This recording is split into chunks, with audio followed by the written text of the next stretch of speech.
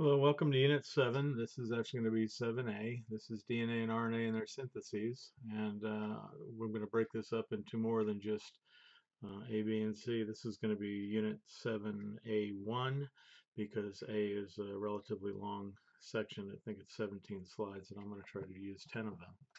But anyway, what we've got is we've got this spinning DNA molecule, and if you take a look, we've got a left strand and a right strand, and they're um, swirled. This is the double helix of the DNA, and if you take a look at the molecule right there, um, the left strand really doesn't touch the right strand. It's actually hydrogen bond bonded, just like we talked about water uh, together. And if you also take a look, um, we actually have long DNA and we have short DNA molecules. These are actually going to be um, phosphorus again. Remember we had uh, uh, double phosphate, triple phosphate for ATP, ADP. This is monophosphates. Um, but they make up, these are the nucleic acids that make up DNA. So we actually have um, flip sides, and we'll talk about that also. Um, here we actually have a DNA uh, lab that we are going to work on. This is a student that we had that I had uh, five or six years ago. And if you take a look, uh, we actually have strawberry material. And in this clear colorless liquid we have up here, uh, we, this is the actual DNA from the strawberry. Strawberry actually has lots of copies of DNA, which makes it relatively easy. We can do the same thing with a banana, but it makes it relatively easy to pull the DNA out and to actually see it. So we're not going to try to do anything other than try to pull out DNA, which you may have done in middle school. This other side over here actually says I share half of my DNA with a banana. The part of the uh, DNA that actually talks about cellular respiration, the part that actually talks about breaking down sugar, the part that talks about growing, um, bananas do the same thing, and the DNA for that section of the banana and that section for us is the same. Um, are we really 99% chimp? Um, I'm going to do this in a different video, or actually probably what I'll do is I'll put the URL below this video. You can take a look at it.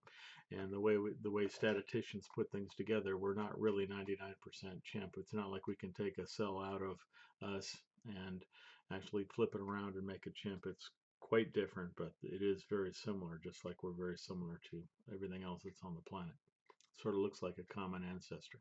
And then a lot of more um, mutations to make things. Okay, 7a, scientist, DNA structure and replication. History. There have been a series of experiments, mostly in the 20th century, that actually proved that DNA was the genetic material for inheritance. You know, we actually knew that uh, males and females or asexual reproduction could give rise to new individuals and that we knew that there was something inside these cells that actually could make copies, but we didn't know what it was.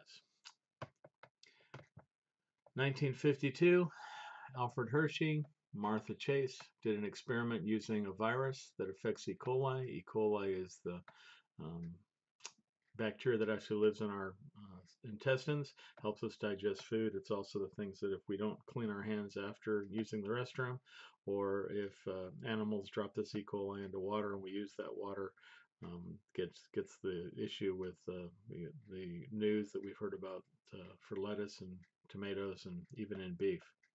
But this is the E. coli bacterium and the DNA, the circular DNA, the protein coats. It's got flagella for moving, and you can see it's very small. Um, we learned that uh, prokaryotic cells are a lot smaller than eukaryotic cells.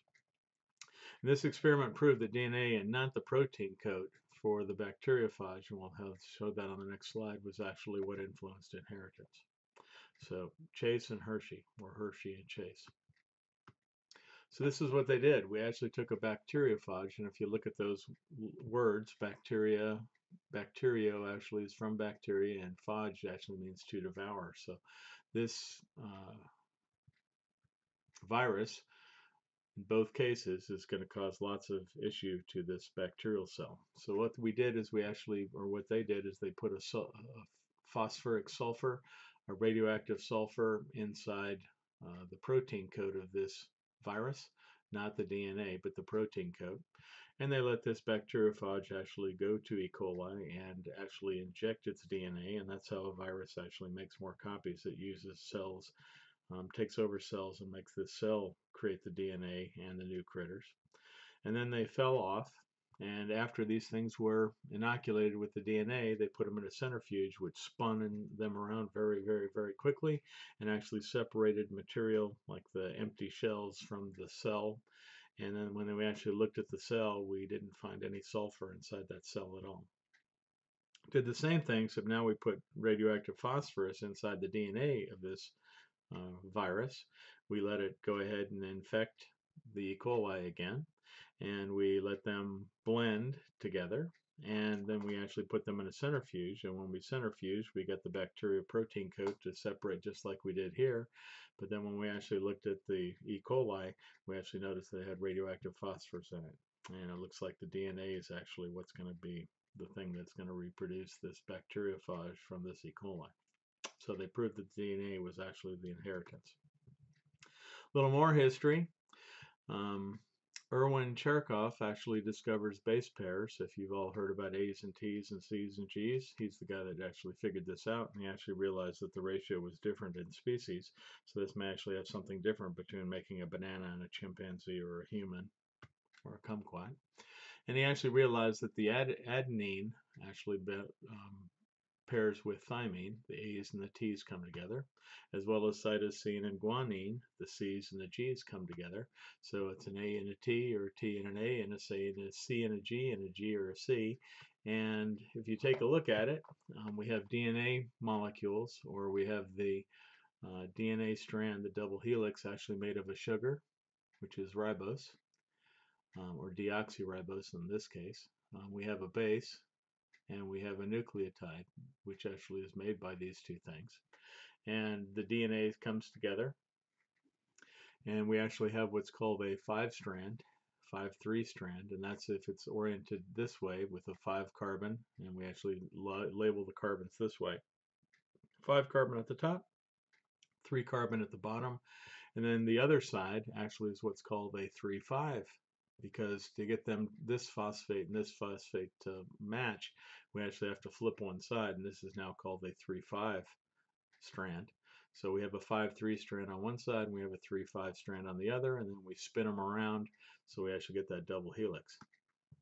So here's the 5-3 strand because it looks normal, and here's the 3-5 strand because it looks abnormal. And when we actually look at them, one strand is the 5-3, and the other strand is the 3-5. And we'll talk more about that. In fact, you guys will actually make a model of the DNA molecule uh, that actually has this orientation. Rosalind Franklin, Maurice Watkins. Uh, this has to be later in the 1950s. They're actually the first ones to pick to get a picture of a DNA, and what they did is they crystallized the DNA, uh, which actually killed whatever DNA it was, and then they take really small uh, slices of it and then actually put it through an x-ray machine and came out with this picture.